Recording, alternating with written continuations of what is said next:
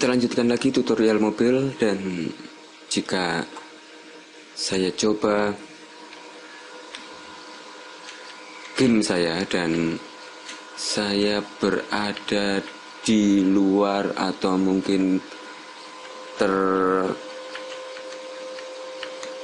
tercantol di ini di batas kiri atau batas kanan saya tidak tidak bisa me, menggunakan game lagi. Dan di sini saya membutuhkan fungsi restart.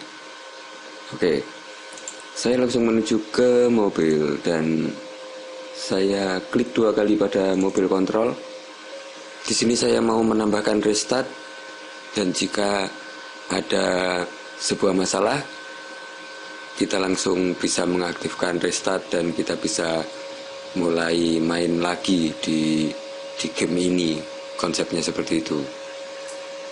Dan perintahnya sangat sangat sederhana. Saya menggunakan di fungsi update. Di sini saya menggunakan pernyataan if jika uh, input dot get key uh, escape oke okay, seperti itu jika kita mendapatkan escape jika escape ditekan maka akan melakukan ini. Dan saya memberikan apli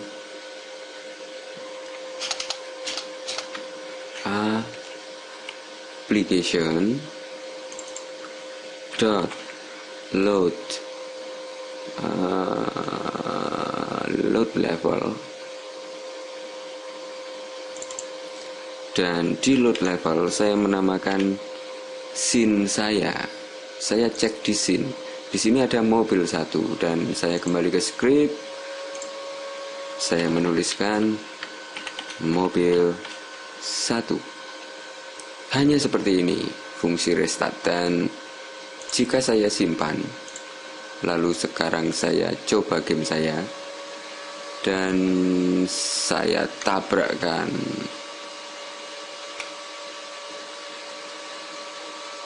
Atau langsung saya escape maka kita langsung restart dan ini akan memudahkan kita untuk memainkan game oke kita sudah mempunyai fungsi restart dan saya mau mengatur beberapa script karena kita sudah mempunyai banyak script dan di sini saya mau cut dan saya letakkan di sini dengan nama function uh, control. Mungkin semacam itu control oke okay, dan saya paste di sini. Lalu di fix update saya tinggal memberikan control kurung buka kurung tutup dan titik koma. Dengan cara ini kita bisa mendeteksi dengan mudah karena kita hanya memiliki beberapa script di fix update karena semua nanti akan berada di fix update dan update. Jadi kita meminimalisir bahasa yang berada di sini dan sini. Oke, seperti itu. Dan kita juga bisa memberikan fungsi restart di sini. uh, function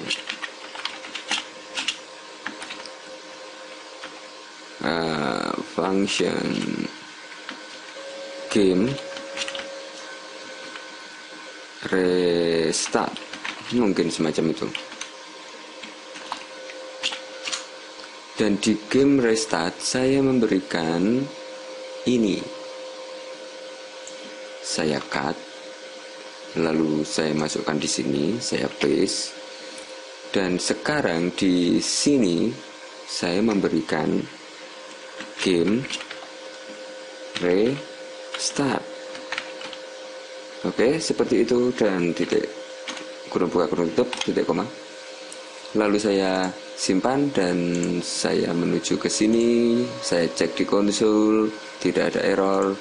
Dan jika saya putar game saya, saya masih mendapatkan fungsi yang sama persis dengan tadi, tapi uh, script kita jauh lebih rapi dan dan lebih mudah untuk di dideteksi jika nanti suatu saat ada kesalahan. Oke, selanjutnya di video selanjutnya saya akan menambahkan fungsi handbrake rem tangan. Saya cek untuk restart. Oke, kita sudah bisa restart dan sampai jumpa di tutorial selanjutnya. Salam.